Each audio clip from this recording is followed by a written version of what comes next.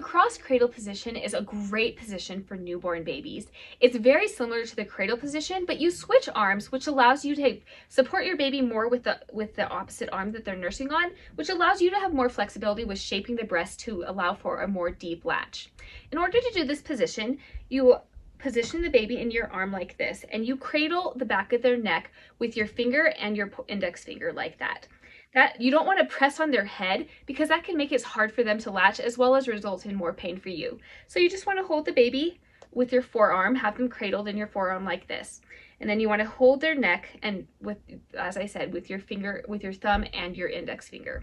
The point of this position is to allow your baby to raise their neck up high enough and to be able to get a good deep latch. A lot of moms are able to successfully do this latch without any type of pillows or any type of support that way, but if you feel more comfortable, you can definitely put a pillow. I would probably put it under this side and not necessarily over here, just because that can allow you to kind of put your baby's head up a little bit higher. As with the cradle position, you want to make sure that your baby's lips and nose are really in line with your nipple. You don't want to have to be leaning over or backwards or any type of extra, you don't want to have to be leaning over or backwards in order to get your baby to latch.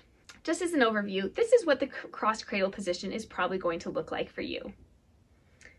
Again, you cradle your baby in your arm like this and you support them with your forearm and your fingers and you support their neck.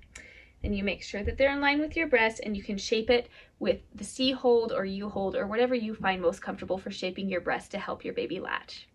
Be sure to subscribe below for more breastfeeding videos and for more breastfeeding support head to thebreastfeedingmama.com.